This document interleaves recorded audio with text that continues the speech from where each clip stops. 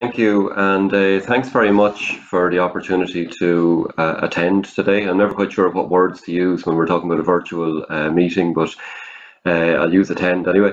And um, hopefully uh, you'll get something out of this. Um, I always find that the, the Q&A is probably more important than a presentation, and uh, very happy to try to answer any questions anyone might have, um, or indeed take any comments uh, on board that you have. Um, so I, I, might say that uh, we're coming towards the end of the consultation period.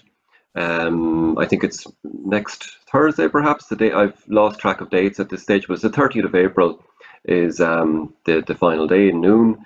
Uh, we want to get as many uh, submissions as possible. Um, and uh, it's kind of why I'm leaving this first screen open uh, while I'm talking because um, I know these things can sound a bit corny about RC's our plan, but I, I, I genuinely, and I think that's uh, I'm saying that on behalf of the department, uh, government, our advisory group, everything. Like we really want this to be um, a broad plan that covers as many people's uh, desires and needs and wants as possible. And therefore, we want people to be saying, well, this is our plan. Um, so this the consultation and uh, next week's close brings to an end two and a half years of consultation. So even though this is a draft plan, and even though the consultation uh, has this phase of the consultation has been ongoing since um, November, uh, we have been touring the country for you know almost almost two and a half years. Um, we've met people at kitchen tables. We've hosted big, reasonably sized seminars. Um, we've had fights. we've had great debates, um, and you know it, it it feels like this is I think, a consultation we can stand over. Um, but that's not to say that I'm not encouraging people to keep talking to us. Um, once the consultation ends, it doesn't mean that that's the last time you'll hear from us. Um, I, I, think I, I, recognize quite a few faces and quite a few names on the, the, the grid there. And um, we've been talking to these people outside of the formal consultation period and taken on board uh, views and ideas and concerns. Um, and I hope they will be replicated in an iterative process on this framework.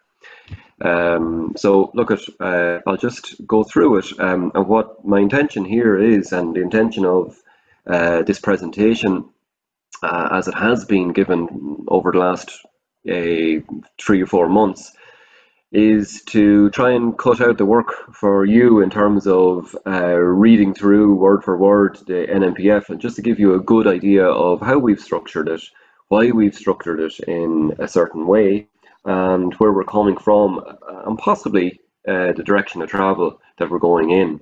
Um, so look at the framework itself. It's a long-term planning document. It covers the next um, 20 years um, I'm going to I'll show you a screen in a couple of um, slides time that shows you how this is a parallel to what has been up until this point, uh, as in pre-COVID, has been a very successful framework, the national planning framework. Um, the reason why it's been successful is it sets out over a long-term period um, government investment uh, in terms of the national development plan aligned to a spatial strategy. So uh, what investment is going to be made, uh, where it's going to be made, how it's going to be made, when it's going to be made, um, and aligning that to the geographical spread, uh, the projection of needs, um, and that's that is something uh, mirror that is something we've tried to mirror in the National Marine Planning Framework. Hence the name National Marine Planning Framework and not Marine Spatial Plan. Um, and I think it's fair to say that uh, the aforementioned national planning, national um, development plan uh, will probably be, probably be the next phase of uh, the national marine planning framework um, in whatever phase or whatever uh, guise that comes. Um, and more on that uh, anon. Um, so the approach we've taken is rather than uh, construct a map based spatial plan. We've done it according to policy. So we have um, basically toured the government departments and state agencies, uh, discussed policies, um, some of which were very mature uh, and took very little kind of um, uh, fleshing out from us in terms of putting it straight into National Marine, the NMPF. Others uh, hadn't been matured and really looked at, you know, for a long time, if ever. And we've attempted to kind of shape them um, and given them some kind of structure. Um, there are others that I'd love to have brought a little bit further, and I'm, I'm hoping by the time the final plan comes out towards the end of the year, we will have um, brought them further. Uh, I suppose brought them some distance along the way, and the one that would jump to mind there would be uh, seaweed uh, policy. Um, we don't have a mature one, mm-hmm. and uh, that's something we want to work on. Even though seaweed isn't part of our remit as the Department of Planning, but um, it is the remit of government. Um, this document will be the critical basis, uh, one of a few different ones, but, but it should be the first port of call for decision makers into the future. So, um, in terms of what can happen where and when, um, any decision maker needs to make themselves aware of that when looking at uh, an application from a developer. Um, also, right now, um, all policymakers, all plans, all files, all all applications under the 2018 Planning and Development Act, are five, I think. Um, right now, they have to meet, their plans has to meet the conditions set in the NMPF, even though we're not at final stage of the NMPF, but it's already legislated for. Um, so in that way, it will be the number one document for all decision makers on that, or developers. Um, and it finally it gives us the mechanism for a spatial designation, which we haven't worked out right now. Uh, and uh, generally, that's the question I, I, get at these events: uh, when are you going to zone, and how? What shape will that zone take? We will be working on that over the next couple of years. Um, and in terms of the legal underpinning for that, that isn't yet in place, and that will be in place through the Marine Planning and Development Management Bill, which will hopefully be coming through in the next 12 months.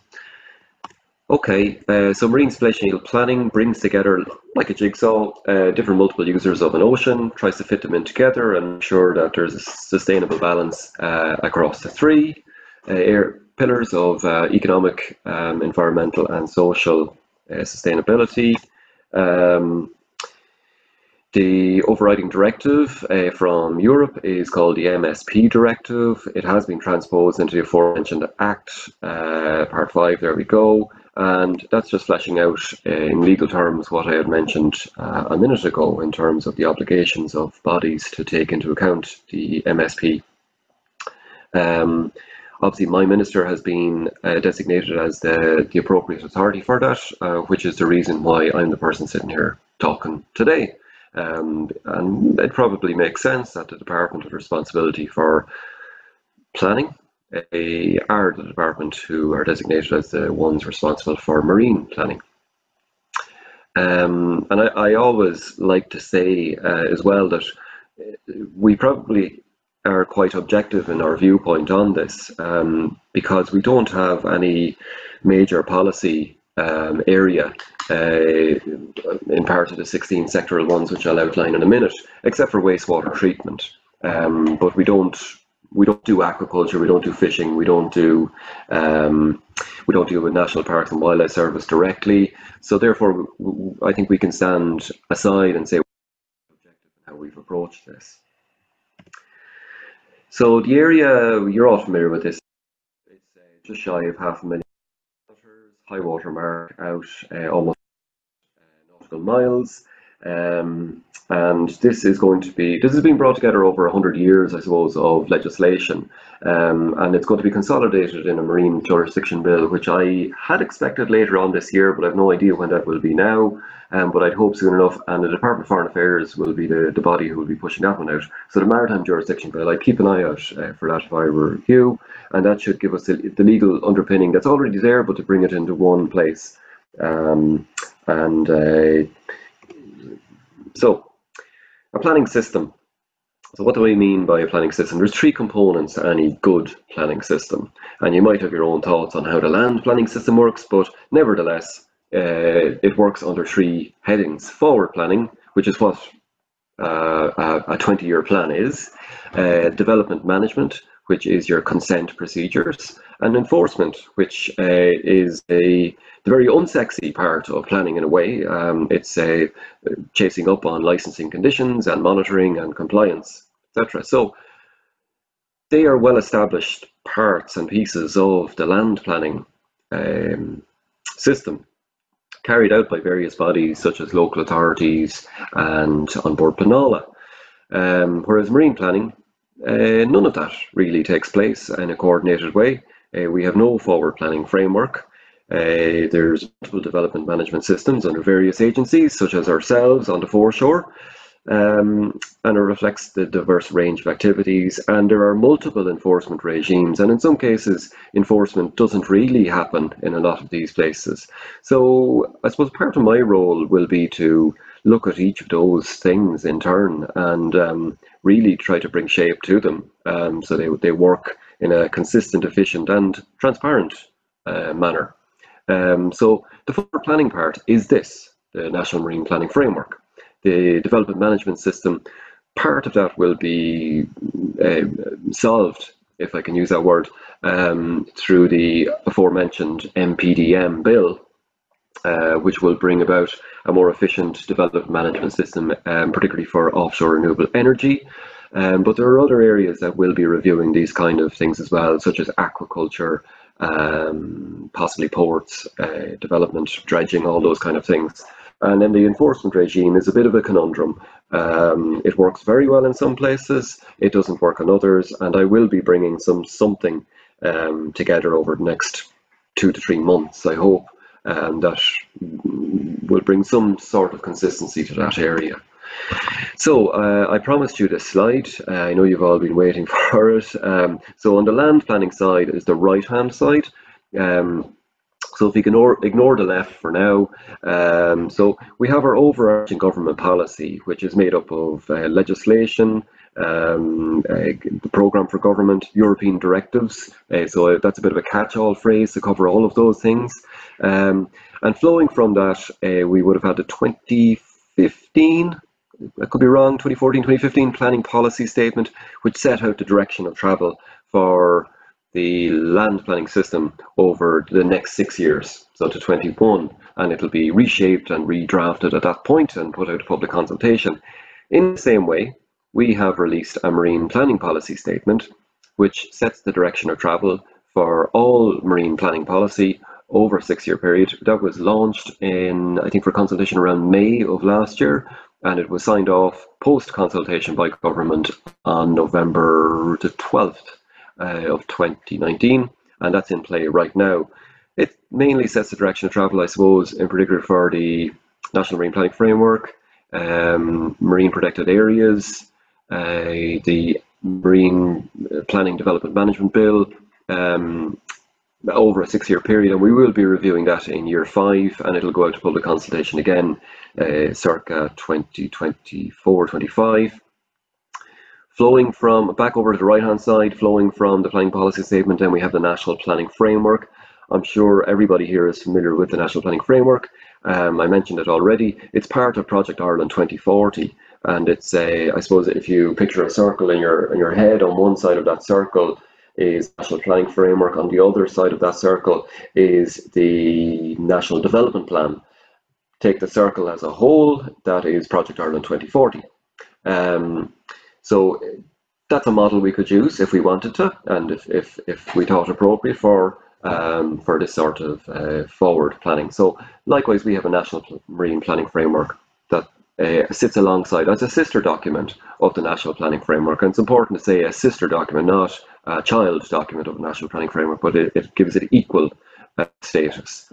Um, now, this is where the kind of di divergence uh, occurs uh, from that. So when we go down to the regional levels, Um, so I'll skip through, I'll, I'll fly through the uh, the planning side first, the land planning side. So flowing from the National Planning Framework, which is the national viewpoint, you would have regional, spatial and economic uh, strategies, um, which really are the, the babies of um, the uh, regional uh, authorities. Um, they take the national strategy and align their own strategy for their region uh, which is usually five or six different local authorities or counties, and align it to corporate plans and make sure that the will of uh, of the people, the government, are, is is aligned to the practice of development plans at a, a, a regional level.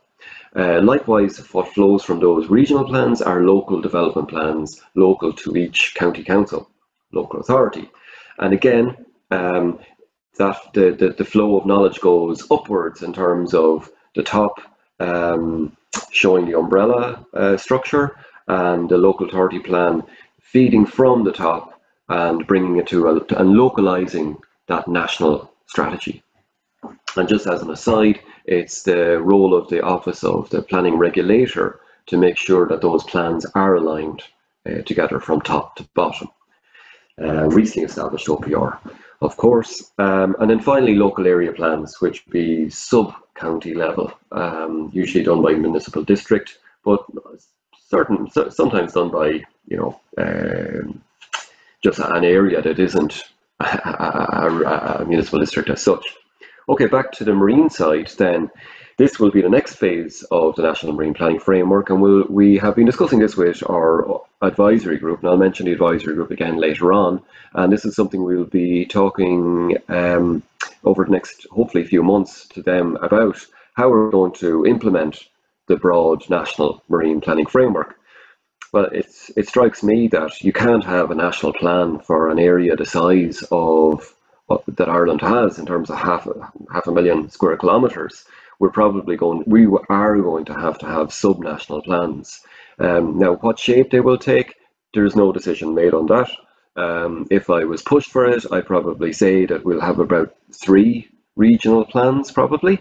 Um, but the main area of interest I would have, um, and this isn't a personal thing, but I think it's a it's an appropriate for this sort of thing, is a community-led approach. Um, uh, so coastal partnerships, and I'd hope to uh, roll uh, a couple of these out as pilot projects over the next uh, few months. Um, we've been delayed in that aspect, as everything has been delayed by the current emergency. But I would hope that um, we, in the background, we are looking to make progress on these, and these will be local plans. Um, I suppose if I could suggest one picture of it, it would be like an advisory group at a local level representing various industries and um, interest groups, uh, trying to iron out issues and challenges that that locality faces.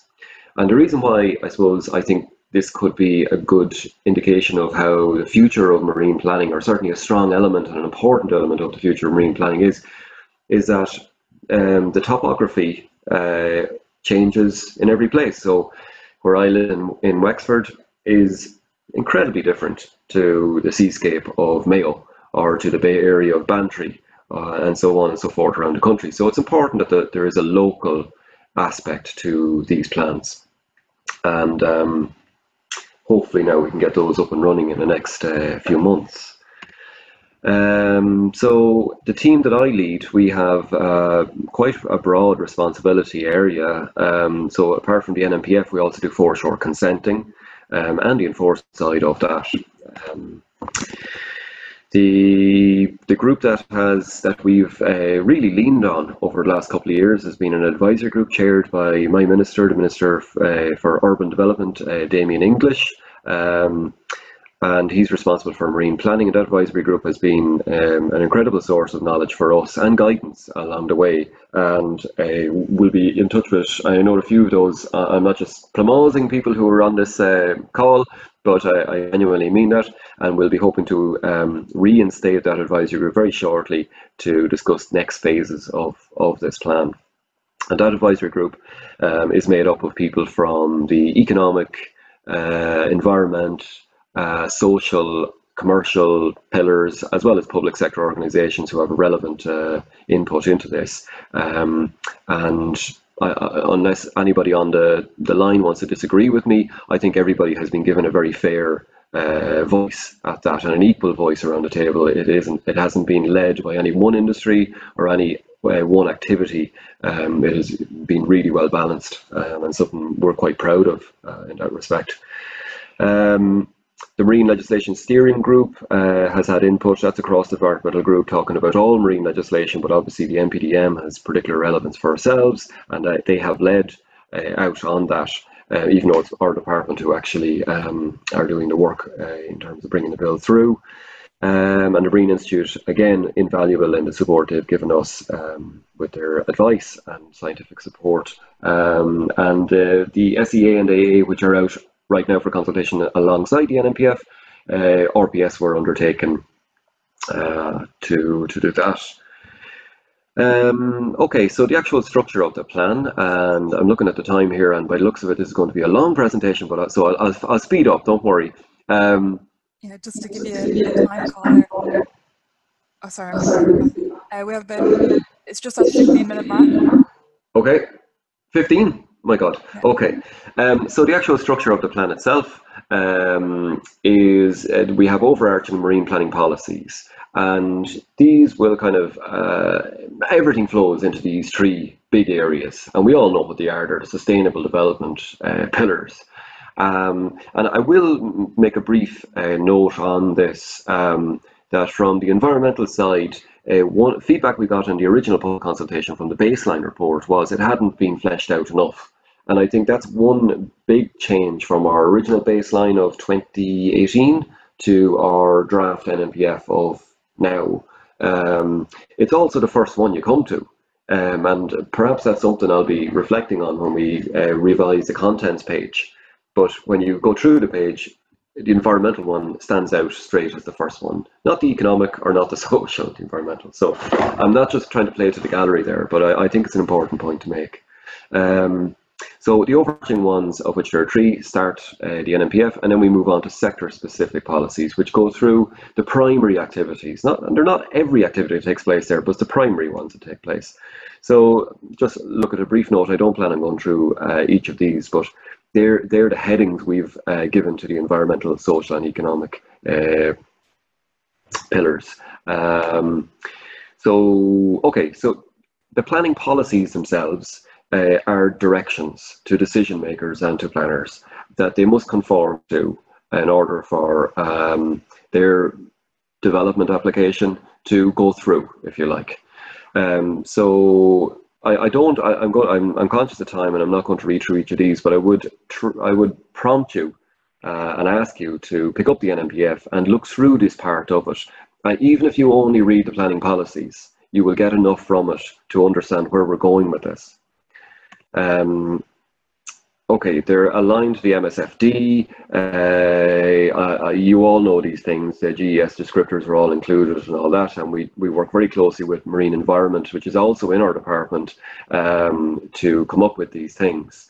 Uh, so I just give a, a, an ocean health example here. Proposals, and a proposal can be a file, a plan, marine uh, policy. Uh, it doesn't have to be just a development application. It's all of the above proposals that reduce the risk of introduction or spread of invasive, sorry, my own screen is, uh, I can't see the whole lot of it.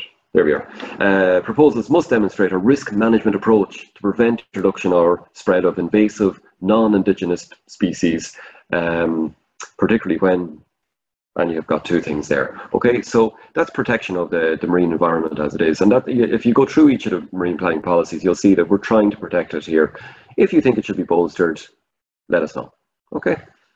Um, the, the, climate change one is obviously very important as well, and we've quite a few there on climate change, uh, which reflect the current um, prioritisation of uh, climate change, um, which is temporarily halted, uh, but uh, over the last few months has uh, gained uh, rightful relevance. Um, we back all these things up with maps, of which there are many, and we will be developing new maps for the final plan.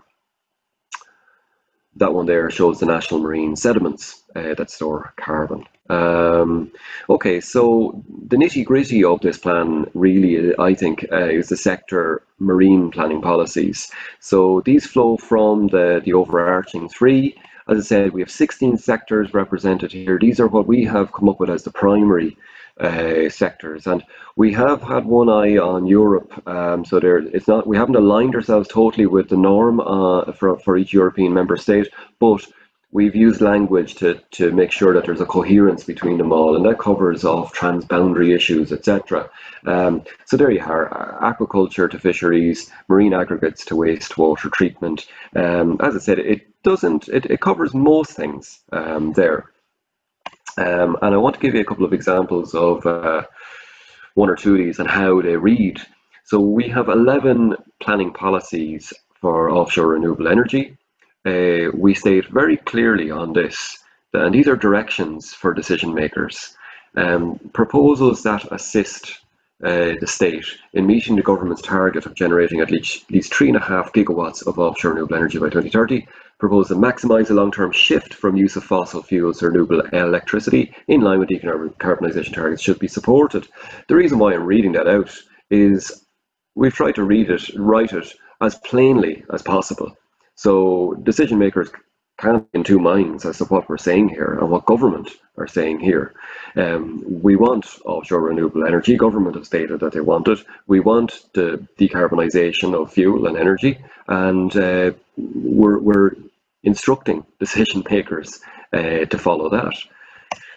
Um, so there we go. Each policy is accompanied by supporting material. Uh, if not the policy itself, then the legislation that it's that's taken from it, and in some cases both.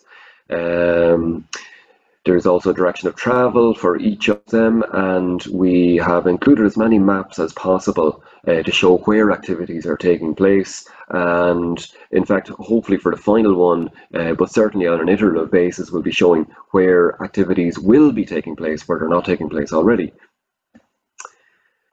Um, so what's happening next? And uh, we've quite a busy period uh, coming up. So we will be developing statutory marine planning guidelines on offshore renewable energy.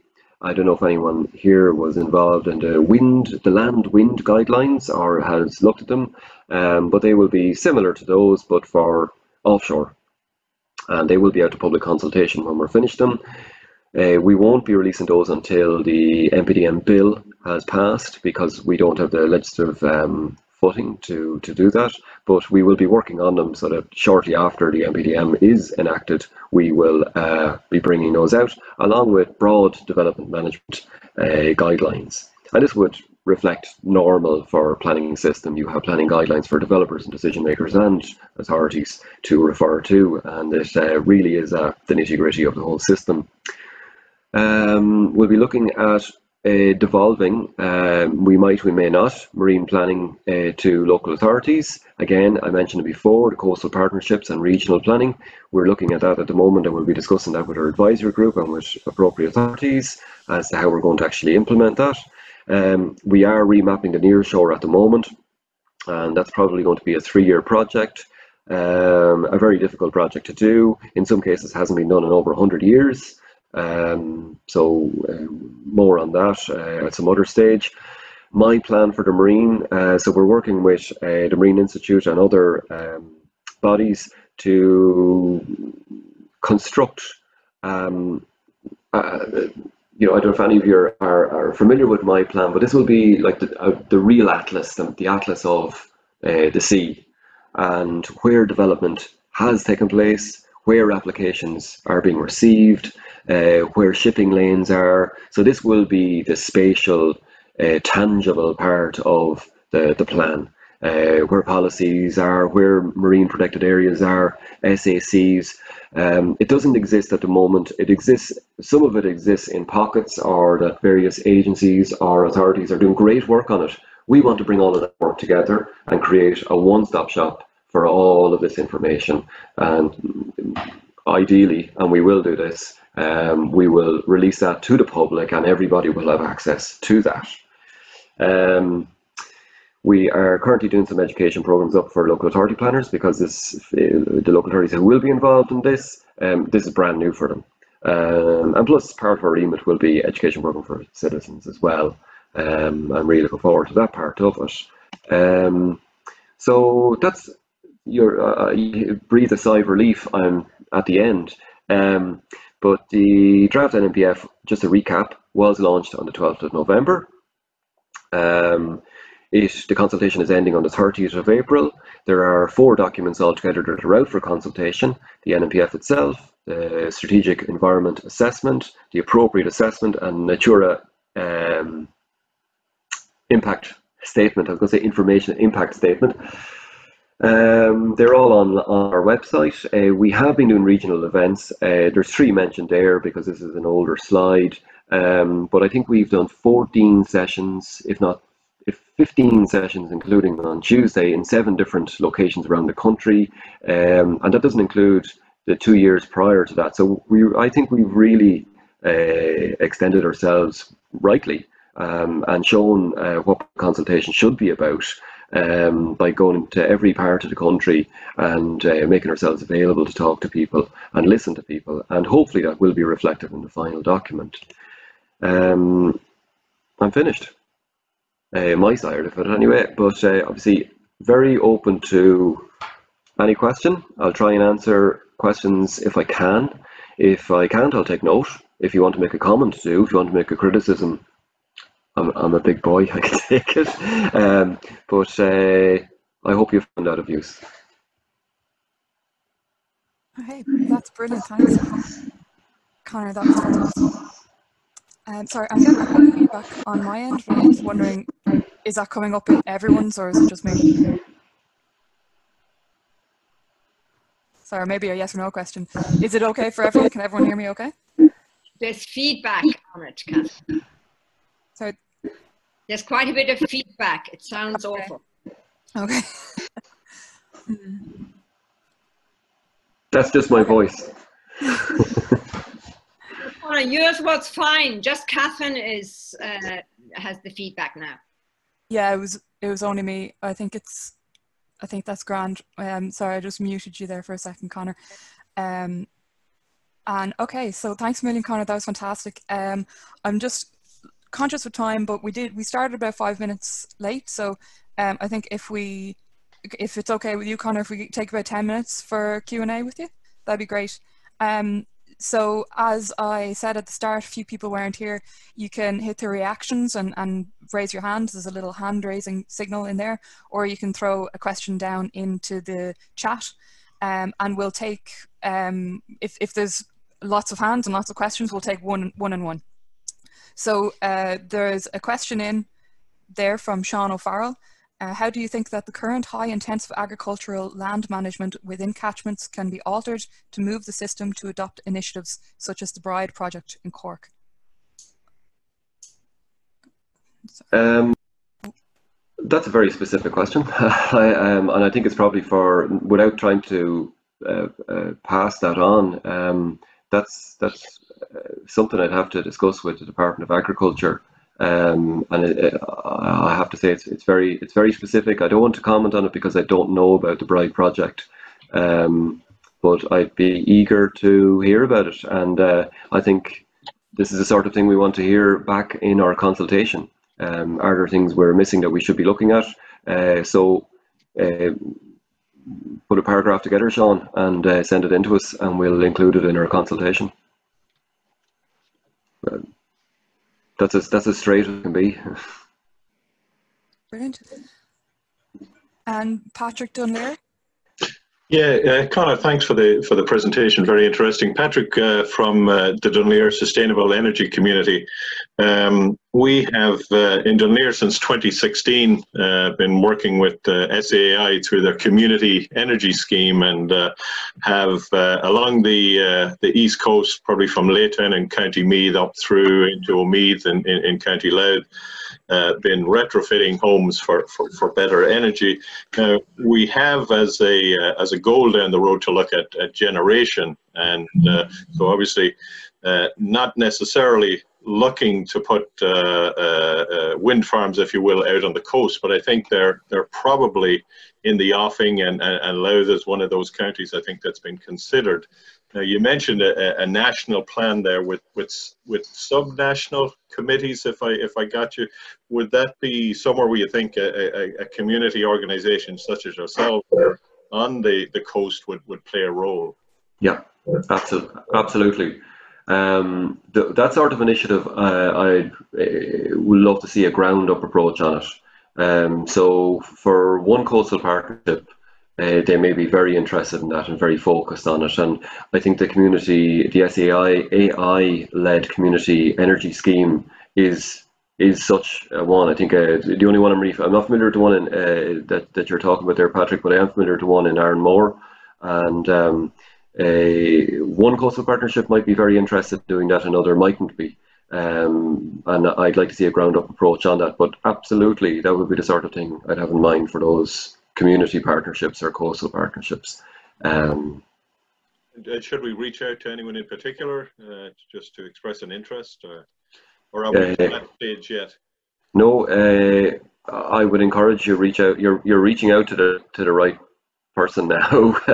um, so, like, we will be coordinating all of these sort of things. Uh, so, uh, get in touch.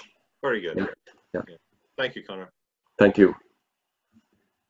We have another question in the chat from Marion O'Shea. Will offshore renewable energy take impact on biodiversity into account?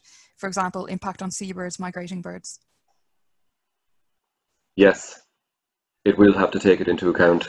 Um, so again, without trying to read through the planning policies, um, if you have a look at the NMPF, the draft of it, um, there are a lot of policies uh, on that, uh, on biodiversity and the ecosystem and protection of it. So whereas we are encouraging offshore renewable energy because that's what uh, well we're, we're signed up by government and uh, through European directives as well to go that route and um, I suppose as a, a, a, as a policy maker in that regard, that is the route we want to go because it leads to decarbonisation. But that isn't to say that we just get working on putting turbines in.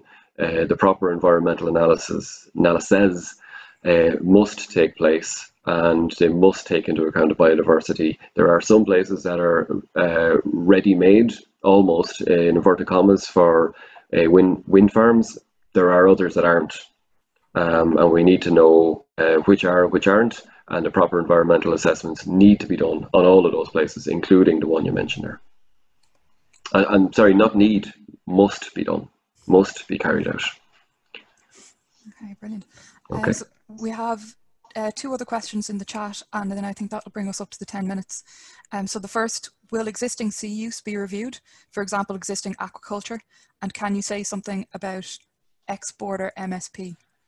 I presume that's cross-border. Um, cross-border, yeah. Um, will existing sea use be reviewed? Uh, not in this phase of the, NMPF, uh, because what we need to do is get it in place first as a, as a concept and as a reality. Um, but in yes, in the next iteration, and that iteration starts the day we launch the final version. So, um, but at the moment, we will be protecting what's there already. Um, and there's no view on, on, well, that's actually not strictly true because, um, as you can tell from oil exploration, that won't be protected. Um, but a, the majority of marine activities, we won't be reviewing their use right now. Um, but as to whether we're encouraging their expansion, uh, that's a different question. Um, the cross-border MSP, uh, yes, I can. I'd hope I, I, have a very good relationship with my counterpart in Northern Ireland and in England and Scotland and other places we share borders with. We're part of a group uh, called the Six Administrations um, that has recently been renamed the Six Nations, which I much prefer, um, to discuss transboundary issues.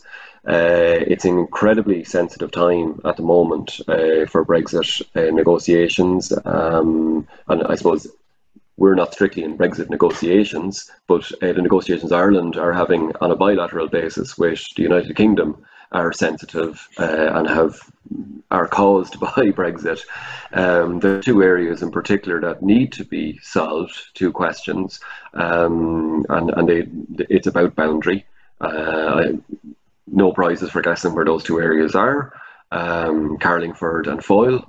Uh, we will get to it. Um, we, we uh, we've, as I said, excellent informal and formal relations with our counterparts in Northern Ireland. I would hope that we will align uh, our plans around the border at some point. Uh, but given the sensitivity of negotiations at the moment, foreign affairs are the ones who lead out on anything to do with cross-border relations. Um, but I think the British and Irish Council of Ministers is going to play a big part in these sort of things. And in a way, not to be not everyone to be accused of using words that Boris Johnson has used, but uh, that in a way gives a platform for de-dramatising um, the situation. Uh, sorry, a long, a long, answer there to, uh, I should have just said, uh, yes, I can say something about it, and I hope to have good news in that regard over the next 18 months or so.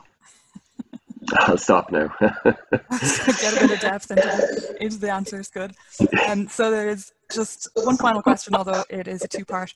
Um, is there a timeline for the My Plan for the marine data to be available publicly? Is the first part. Okay. Um,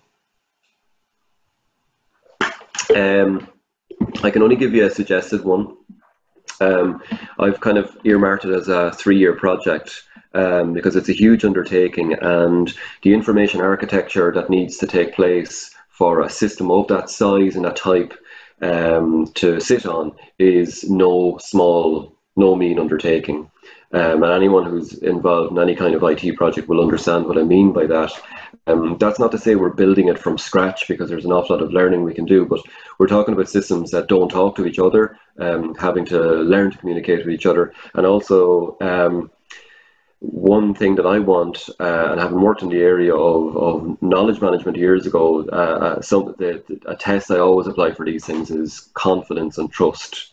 So when the end user, the citizen, uh, goes to use this product, um, they need to trust that this is accurate information, it's up to date, and that it's useful to them. Uh, so uh, trust and confidence are the two main things. That takes a while to build a system like that. Um, so I've kind of put three years on it, and for some um, for some things we won't have it done in three years. Uh, so if you even take the 16 sectoral activity areas, if we were to take all data from those, that's going to be a multi-year project. But what I want to do is to add to it as we go along. So get it out, uh, get it, get what we can made publicly available um, as soon as possible, probably in two years to three years, and then add to that as we go along, rather than waiting for the big bang approach in five, six years, which may never take place uh, if we if we go down that road. So um, I'll say three. I'd hope sooner, but um, uh, you know, uh, pecunium infinitum. If if I had lots of money and lots of resources, I would uh, have it done in six months. But I don't. No problem. And then the, the second part of my question, and I know this has gone over the 10 minutes and there's another few questions that came in, so apologies to those we didn't get around to. Uh, but the second part of that question then was how will local authorities planning sections be resourced so they have the capacity to deal with applications and will An Bord Pleanála be the appeal body for marine planning? Uh, great question. Um, I, I, it it, dep- it depends. I hate answering a question, but it depends. But it depends on the shape and the model that we roll out marine planning with. And I, will give you an example of uh, you know two or three different models. Um, we could go down a shared service route uh, with local authorities. It could be that one local authority, excuse me, takes um, takes on the role of forward planning for five or six marine uh, uh planning or uh, local authorities. In that case you would save on resources and you're centralizing knowledge, and that's probably a preferred option. Um, is there a case to be made also for a model whereby we have one central marine planning uh, uh, body uh, who does it for all local authorities? Uh, do the local authorities need to have a role in this at all? So as you can see, we're we're we're at a point where we're investigating all kinds of models. Like if you look at um, England, uh, it's a centralized model. The marine management uh, organization do all forward planning themselves. Um, they basically do it by regions. I think there's about 12 different regions and they've eight of them done at the moment. Uh, so the local authorities have little or no uh, interaction with, with, with uh, or sorry, little or no responsibility for planning in that regard. If you go to somewhere like Sweden, um, they have both. They have a hybrid approach. So they have a central body called SWAM, uh, well, similar to, to the SWAN there, but it's uh, the Swedish Water and Marine uh, area, and they work with local authorities but retain responsibility uh, for the forward planning. So it depends on the model, and I'd hope that um, the formation of government, the program for government, uh, our advisory group, our consultation, and all of those things will put shape on that. Um, because for every person that tells me that uh, local authorities are well placed to do this, there's someone who says that actually a central body is the way to go. Uh, so there's no clear cut um, way to do this. Uh, there are 18 coastal local authorities. Um, if you allow, if you allow, I'm sorry to use that term, uh, if, if, if it's devolved to each local authority, will you put 18 marine planners base around the country? Um, I, I, I just don't see that as a sustainable model, for instance. Um, but would you have a regional approach? I, I think that's probably one model we could look at. Would you have a centralized approach? Because marine planners are so thin on the ground, that's probably another approach we'd be looking at too. So, a long winded answer, I'm afraid, and I don't mean to say it depends, but it really does depend on the model that comes out of implementation. At the moment, the body I represent, the Marine Planning and Development Management Team, we we are responsible for forward planning in the entire country it may be that I, I'm talking to you again next year and I say we're still the body responsible for all planning. Um, and in that case, you know, will I have two or three extra resources and that's it? Poss- that's possibly very unrealistic uh, analysis. Okay. Sorry, is, is the is the An Bord will that be the appeal body? Will it still be the appeal body? Or is that also up in the air? Um, it, well, it's up in the air, but it's dependent again on the model. So if local authorities are the ones making, oh, actually, hold on, there's a, there's a two-part um, answer to that. Uh, for development management, that will be devolved, and some things will be devolved, such as jetties and piers, all that to local authority. And they will deal with those in the same way they deal with local um, housing development. Um, for instance, the appeal body in that regard will, will be An Bord Pleanála um, for forward planning um, it, and for um, strategic national infrastructure and offshore renewable energy and things like that. No, An Bord Pleanála won't be the appeal body because local authorities won't be making decisions on those as things stand. Um, so offshore renewable energy and big projects like that, uh, the idea will be that An Bord Pleanála will be the planning authority for that. Okay. Um, I, I'm actually, I haven't even thought about who the appeals body would be in that case, but you could look at either the High Court or um, the Office of the Planning Regulator, maybe. Um, one of those two options would be open, but uh, so it, there, there's a yes and no answer to that question, I'm afraid. So yes, for some of the smaller localized development management functions, the An Bord Pleanála absolutely will be the appeals body. No for the bigger things and the forward plans, I, I would still expect. Uh, um, I wouldn't expect ABP to be the appeals body. I, I don't. Sorry, does that answer? Does that answer uh, your question? Uh, yes, that's fine. Thank you. Okay. Thanks, Bernadette. Um, okay, so thanks a million. Um, I know we've, we've kept you after the time. We, so I'm sorry about that, uh, but it was brilliant to have you on, and thanks a million for for joining us and for uh, giving us uh, such a, a, a good rundown on on what's going on. Um, Well- I think we can. I'll give you a big, big silent bualadh bos.